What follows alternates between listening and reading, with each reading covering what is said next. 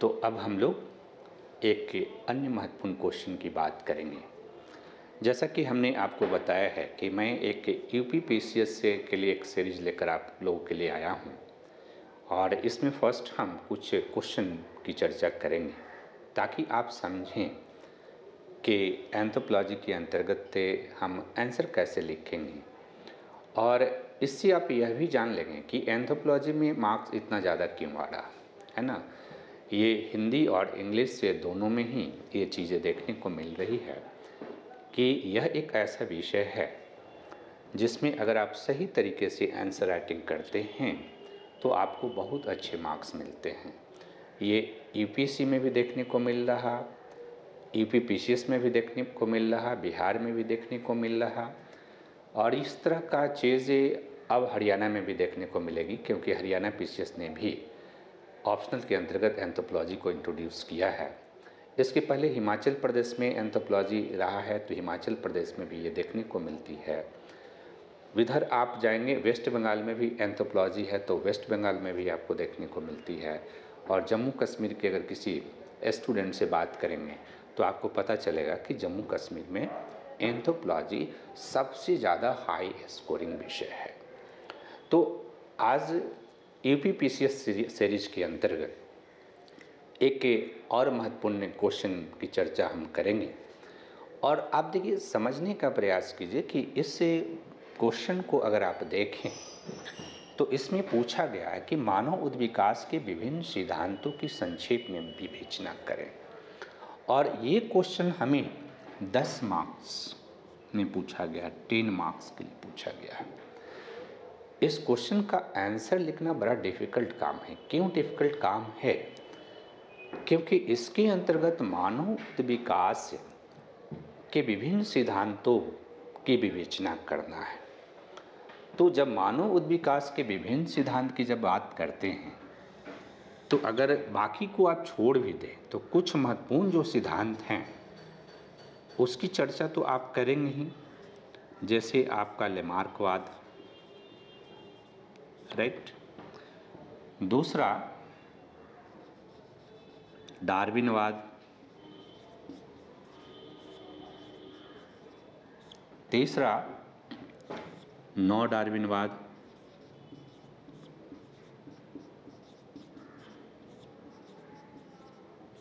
चौथा संश्लेषणात्मक सिद्धांत।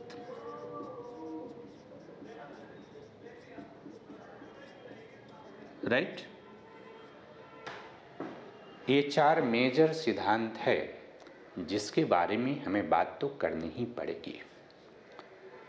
तो इन चार सिद्धांतों को अगर टेन मार्क्स के लिए, अगर हमें, टेन मार्क्स का मतलब है कि हमें डेढ़ सौ शब्द लिखनी है। ध्यान ये रखना है अदरवाइज़ अगर आप ज़्यादा लिखेंगे तो फिर क्या होगा? आपका दूसरे क्वेश्चन में टाइम कम पड़ जाएगा और क्वेश्चन का आंसर छूट जाएगा। तो इस क्वेश्चन को लिखने के लिए हमें टू द पॉइंट बात करनी है, हमें बेसिक की बात करनी है और केवल बेसिक दिखाना है कि इस इस क्षेत्र में ये चीज़ें हुआ और उससे हम उन विकास को बेहतर तरीके से समझ सकते हैं। लेकिन जब भी क्वेश्चन को लिखने जाइए तो कम से कम इंट्रोडक्शन में इस पार्ट को ज़रूर आप दिखाइएगा कि मानव उद्विकास राइट पहले आप उद्विकास को दिखाइएगा कि उद्विकास एक जैविक प्रक्रिया है जिसके अंतर्गत जीव का सरल से जटिल जीव के रूप में परिवर्तन होता है। यह जीव की जीन आवृत्ति में परिवर्तन के कारण होता है।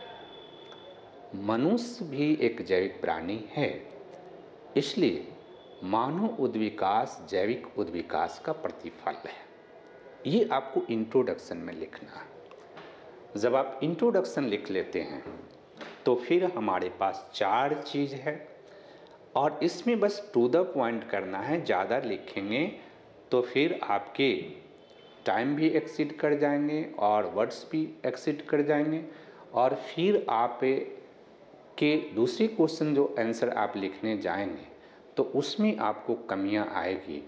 दरअसल ध्यान रखना है कि नॉलेज प्राप्त करना एक डिफरेंट काम है आंसर लिखना एक डिफरेंट काम है। और आंसर लिखने का तरीका जब तक आप प्रैक्टिस नहीं करेंगे तब तक आंसर नहीं लिखने आता है। कई लोग तीन बार, चार बार मेंस लिख रहे हैं और मेंस का रिज़ल्ट आता है तो कहते हैं कि रिज़ल्ट नहीं हुआ। राइट मैंने आंसर अच्छा से लिखा था। दरअसल आंसर लिखना एक कला है, उसको सीखनी पड़ेगी, क्योंकि इस तरह के प्रश्न अगर आपसे पूछे जाते हैं तो उसका आंसर बहुत ही टफ है लिखना। देखने में ये बहुत आसान लग रहा, लेकिन इसका आंसर लिखना बहुत टफ है। तो देखिए हम लोग कैसे लिखेंगे आंसर आप देखिए, लेमार्कवाद पर पहले तो दो लाइन में आप लिखेंगे कि जिन बैप्टिस्ट लेमार्क ने अपनी कृति फिलोसफिक जूलॉजिक ब्रैकेट में 1809 में जैविक उद्विकास के सिद्धांत का प्रतिपादन किया, जिसे उन्होंने उपार्जित लक्षणों की वंशगति के रूप में प्रस्तुत किया। उपार्जित लक्षणों की वंशागति के रूप में प्रस्तुत किया, जो समान रूप में लेमार्कवाद के नाम से जाना जाता है। बस दो लाइन लिखना है। दो लाइन लिखने के बाद आप बताएँगे कि उपार्जित लक्षणों की वंशगति का जो सिद्धांत है, इसमें चार इंपॉर्टेंट कंपोनेंट है। पहला आंतरिक जीवन शक्ति का सिद्धांत।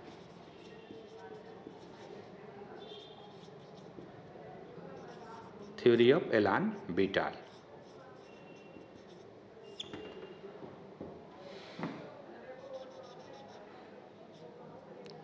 दूसरा पर्यावरणीय दबाव एवं नए अंगों का विकास। Right theory of environmental pressure and spontaneous formation of organ तीसरा, अंगों के उपयोगिता।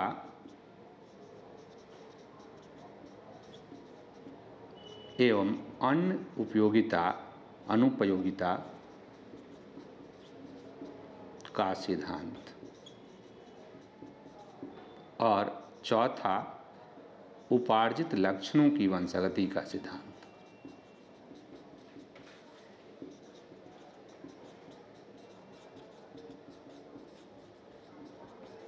Right right? पहले आप चार लिख करके और चारों को एक साथ इंटीग्रेटेड करते हुए एक पैराग्राफ में इसकी व्याख्या कर देंगे अलग अलग करेंगे तो फिर इसकी विवेचना आप नहीं कर सकते और फिर इसमें थोड़ी सी जो इसकी कमियाँ हैं तो कमियाँ जो हैं उसमें हम बात करेंगे कि कुछ इसके लिमिटेशंस हैं, क्योंकि जो लेमार्क है, उसने कहा कि उपार्जित लक्षणों की वंशागति, यानी ये लक्षण उपार्जित हैं नए अंग, और या जिनका उपयोग किया जाता है अगली पीढ़ी में वंशागति होती है। तो वंशागति कैसी होती है, इसके बारे में लेमार्क को जानकारी नहीं थी। दूसरा कि आंतरिक जीवन शक्ति का जो सिद्धांत है थ्योरी ऑफ़ एलान बिटाल जिसमें लेमार्क कह रहा कि जीव का सरल से जटिल जीव के रूप में जो विकास हो रहा, वह आंतरिक जीवन शक्ति के कारण है। हाल के वर्षों में जो अध्ययन किए गए हैं, उससे यह प्रमाणित होता है कि उद्विकास में आंतरिक जीवन शक्ति जैसा कोई भी तत्व नहीं है। बाह्य कारकों से उद्विकास होता है। राइट? तो एक तो आप इसको इस तरह से आप दिखा सकते हैं, या इसको डायग्रामेटिक रिप्रेजेंटेशन भी कर सकते हैं। इसके डायग्राम भी हैं कि उसके माध्यम से आप इन चीज़ों को प्रजेंट कर सकते हैं। चूँकि ये कम में लिखना है तो आपको या तो इन चीज़ों को आपको प्रजेंट करना है, और फिर उसके क्रिटिक्स एक दो आपको लिखना है, बहुत एक्सप्लेन करने जाएँगे तो ये चार चीज़ के बारे में एक्सप्लेन करने जाएँगे तो डेढ़ सौ शब्दों में कभी नहीं लिख पाएँगे। हम आज जो बात कर रहे हैं, इसमें आपको सिखा रहे हैं कि आप एक कैसी आंसर लिखिएगा आंसर राइटिंग कैसे कीजिएगा।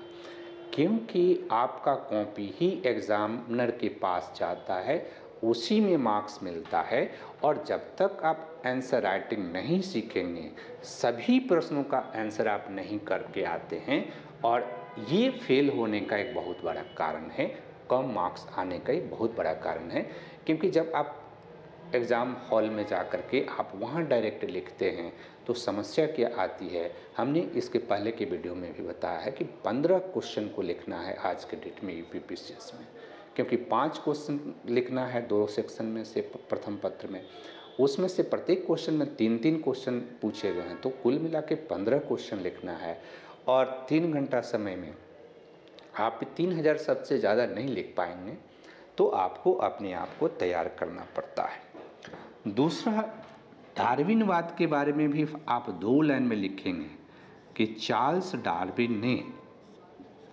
अपनी कीर्ति इन्वर्टेड कॉमा में डाल देंगे। Origin of species by means of natural selection इसको अंग्रेज़ी में ही लिख देंगे इन्वर्टेड कॉमा अठारह में जैविक उद्विकास के सिद्धांत का प्रतिपादन किया, जिसे प्राकृतिक चयन के सिद्धांत के नाम से जाना जाता है। इस जो सिद्धांत है, प्राकृतिक चयन का सिद्धांत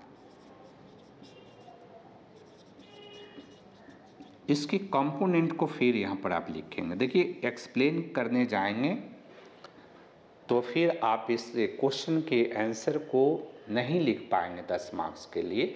आपका दूसरा जगह छूट जाएगा। तो प्राकृतिक चयन का जो सिद्धांत है, इसके अंतर्गत डार्विन ने कहा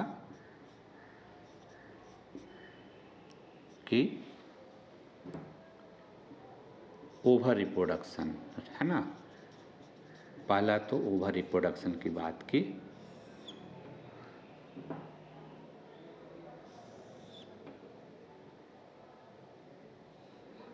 दूसरा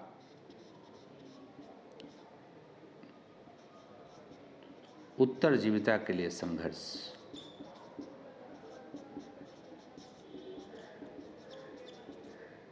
तीसरा, विभिन्नता। चौथा, योग्यतम की उत्तरजीविता।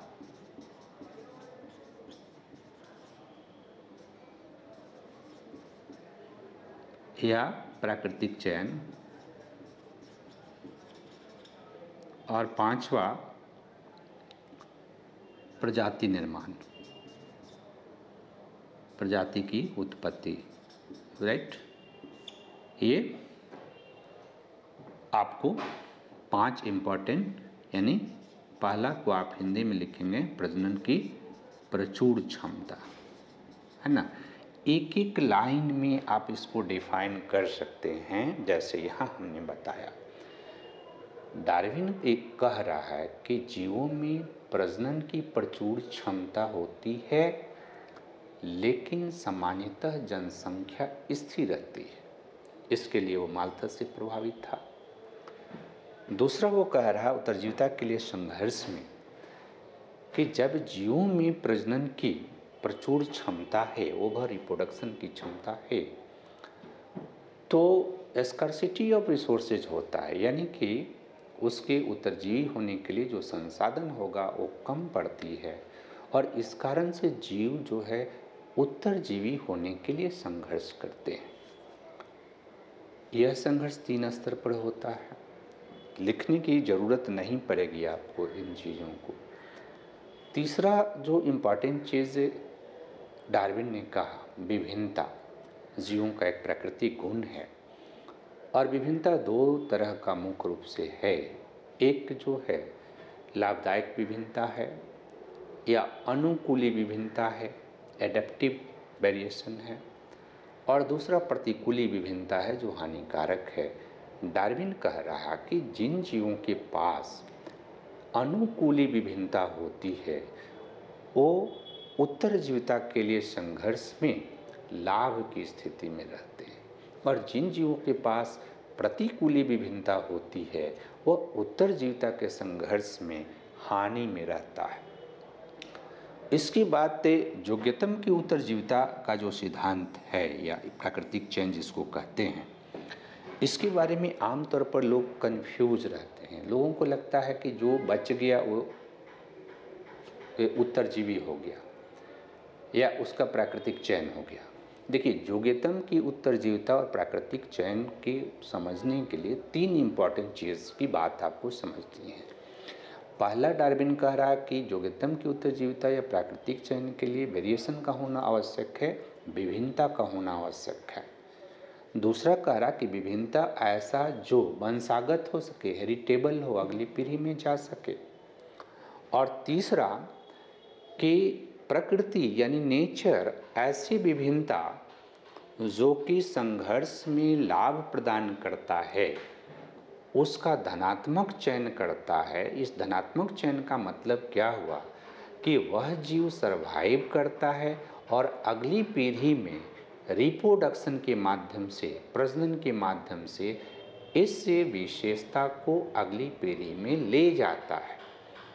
और पीढ़ी दर पीढ़ी जो एडप्टिव वेरिएशन है, अनुकूली विभिन्नता है, वह पीढ़ी दर पीढ़ी आपस में संयोजित होते जाता है, जिससे प्रजाति की उत्पत्ति होती है और इतने में आप डार्विन को समेट सकते हैं। डार्विनवाद के जो सबसे क्लू है, सॉलिड पॉइंट है, वो इसमें आ गए दो लाइन में आप इसके क्रिटिक्स को लिख दें कि डार्विन ने कहा कि विभिन्नता का उद्विकास में बहुत महत्वपूर्ण रोल है, लेकिन डार्विन यह नहीं बता सके कि विभिन्नता की उत्पत्ति कैसे होती है। दूसरा डार्विन ने कहा कि जो अनुकूली विभिन्नता है, वह प्रजनन के माध्यम से अगली पीढ़ी में वंशागत होता है। लेकिन डार्विन को वंशागति के बारे में साइंटिफिक ज्ञान नहीं था, इनहेरिटेंस कैसे होता है, क्योंकि डार्विन ब्लेंडिंग इनहेरिटेंस में विश्वास करता था। तो ये दो चीज़ डार्विन का लिखिए, फिर आगे बढ़ जाइए। तीसरा जो नौ डार्विनवाद है, इसके अंतर्गत तीन इंपॉर्टेंट चीज़ आपको कम से कम ध्यान में रखना है। एक तो उत्परिवर्तन का सिद्धांत।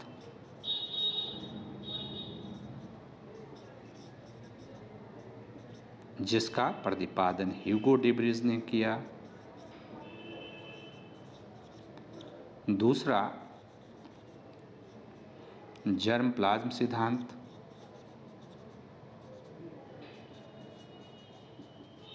जिसका प्रतिपादन वाइसमैन ने किया है। और तीसरा, मेंडल के वंशागति का नियम।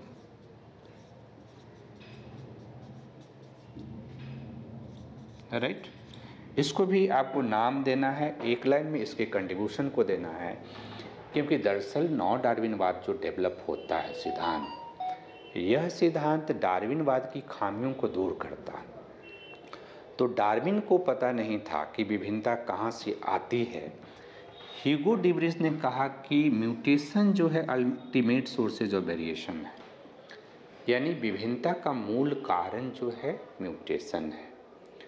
तो विभिन्नता कहाँ से आती है, इस प्रश्न का जवाब आपको हीगो डिब्रिस ने दिया। फिर जर्म प्लाज सिद्धांत के अंतर्गत बाजबिन ने इनहेरिटेंस के बारे में, वंशागति के बारे में बताया। कि जीव में जो सेल है वो दो तरह के सोमैटिक सेल और जर्म सेल, जो लक्षण कायिक कोशिकाओं के द्वारा निर्धारित होता है, वो अगली पीढ़ी में वंशागत नहीं होता है। जो लक्षण जर्म कोशिकाओं द्वारा, प्रजनन कोशिकाओं द्वारा निर्धारित होता है, वह अगले पीढ़ी में वंशागत होता है। तो यहाँ वाइसमिन ने इनहेरिटेंस के बारे में कुछ चीज़ें क्लियर किया। जिससे बाद में मेंडल ने अपने वंशागति के नियम के माध्यम से उसको और भी क्लियर किया। लेकिन मेंडल के वंशागति का जो नियम है, इससे जीन पुनर्संयोग के बारे में भी हमको जानकारी मिलता है। जेनेटिक रिकॉम्बिनेशन के बारे में जानकारी मिलता है, जिससे विभिन्नता की उत्पत्ति होती है और जिससे उद्विकास होता है, क्योंकि प्राकृतिक चयन उस पर कार्य करती है। तो ये तीन चीज़ जो है, आप नौ डार्विनवाद में लिखने का प्रयास करेंगे और संश्लेषणात्मक सिद्धांत के बारे में आप लिखेंगे कि संश्लेषणात्मक सिद्धांत जो है डार्विनवाद यानी डार्विन की प्राकृतिक चयन का सिद्धांत हीगो डिब्रिज के उत्परिवर्तन का सिद्धांत मेंडल के वंशागति के नियम एवं जनसंख्या अनुवंशिकी के क्षेत्र में विकसित नियमों का संश्लेषण है।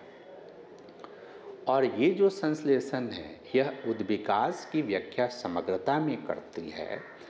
और उद्विकास की व्याख्या यह समग्रता में यह सिद्धांत करती है तो यह सिद्धांत कहती है कि जैविक उद्विकास जो है, इस जैविक उद्विकास के लिए दो तरह के फैक्टर काम करते हैं। एक तो कि वैसे कारक जो विभिन्नता के लिए उत्तरदायी हैं, विभिन्नता के लिए उत्तरदायी हैं।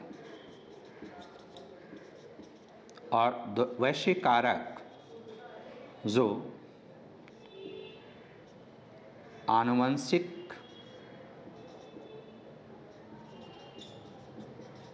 साम्यता को तोड़ने का काम करती है। देखिए, आनुवांशिक साम्यता की बात करें, जेनेटिक इक्विलिब्रियम की बात करें, जिसकी बात हार्डी बिनबर्ग ने किया था। तो ये जो कारक है, जो कि विभिन्नता के लिए उत्तरदायी है, इसमें आप उत्परिवर्तन को रखते हैं। इसमें आप जीन पुनर्संयोग को रखते हैं, इसमें आप संकरण को रखते हैं और इसके अंतर्गत आप अलगाव को रखते हैं, प्रवसन को रखते हैं, जेनेटिक डेप्ट को रखते हैं और फिर प्राकृतिक चयन को रखते हैं। एक चीज़ ध्यान रखिए कि इसको एक्सप्लेन नहीं कर पाएँगे आप राइट आप इतनी चीज़ों को प्रजेंट कर देंगे और एक आध कमजोरियों को अगर आप बता देंगे तो आपको बहुत अच्छा मार्क्स मिलेगा। ये सीखने की बात है। और जब आप आंसर राइटिंग सीखते हैं और उसका प्रैक्टिस कर लेते हैं तो फिर आपको किसी प्रकार की समस्या नहीं होती है। और इसलिए आप इसको फॉलो करें। इस सीरीज़ के अंतर्गत हम कुछ आपको ई के जो प्रश्न हैं उसकी व्याख्या प्रस्तुत करेंगे, कैसे आप लिखेंगे। और मेरा ख्याल है आप पे ज़रूर इससे लाभान्वित होंगे। और नए वीडियो के लिए आप पे कोशिश करें कि कृष्णाज आई के इस यूट्यूब चैनल को सब्सक्राइब करें और अपने दोस्तों के बीच भी शेयर करें, क्योंकि हमने यूपीपीसीएस को विशेष फोकस करके एक सीरीज़ शुरू किया है। इसमें आप सभी यूपीपीसीएस के जो विद्यार्थी हैं, उनका स्वागत है। धन्यवाद।